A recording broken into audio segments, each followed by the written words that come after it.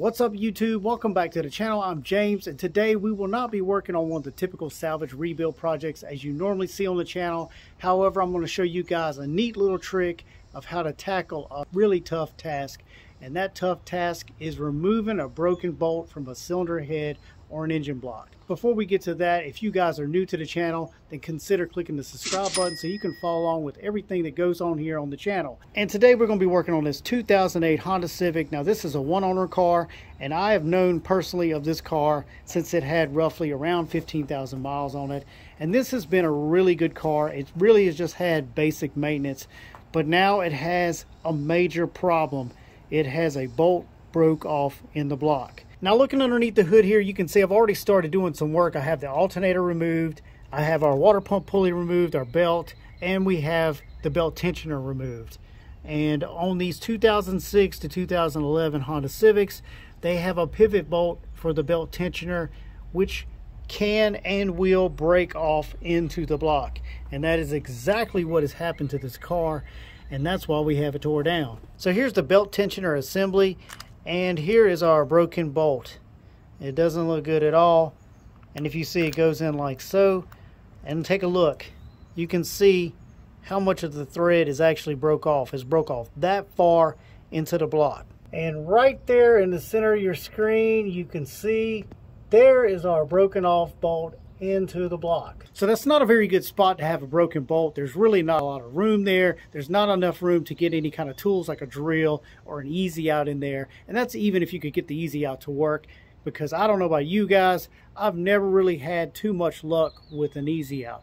But since this is an aluminum block and it's a steel bolt, I have a solution and that is welding a nut onto the stud and turning it out of the block. Now just because we're working on a Honda today doesn't mean that this technique only applies to Hondas. You can use this technique on pretty much anything that has an aluminum head or an aluminum block. And I have done this technique plenty of times on the GM LS series V8 engines. Those exhaust manifold bolts break off and they're tough to get out, but this technique works great. Obviously, you're going to need a welder, and I have my Lincoln MIG welder set up ready to go and you want to make sure you disconnect your battery terminal on the car when you're welding because you don't want to take any kind of risk of damaging any of the electronic components on the car. Since it's pretty tight and hard to get a camera into the area where the broken off bolt is, I'm going to show you using the other piece of the bolt.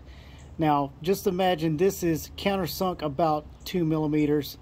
You're going to build this up with weld just enough to where you can take a nut, as you see here, and you're going to slide it over top and then you're going to weld it up solid around here on the top. And then once you do that you're going to make it one piece and you can turn the nut and it'll extract your broken bolt. Easy as that. Now the only thing left to do is to fire up the welder and let's get that broken bolt extracted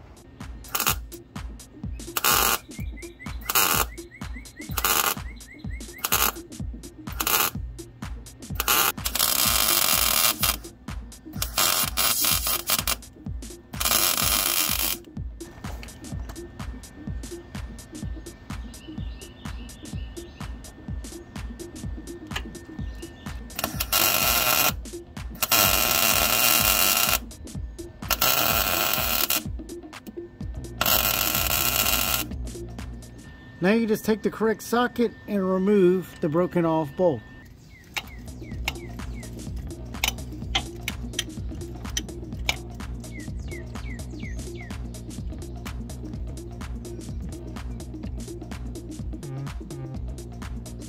And there you have it. There's our broken piece extracted from the block. Look, it's my wild neighbor. Damn, you were gonna take it. Yeah, oh, it's going on YouTube now. Yeah. Let me show you some brown eye. you don't want to be a YouTube star? Nah, not for. We'll think of something better, or something good. Can you believe that Honda has a technical service bulletin that calls for an engine replacement because of this right here? It's the stud for the belt tensioner. It broke hmm. off in the block. This is the second time it's happened.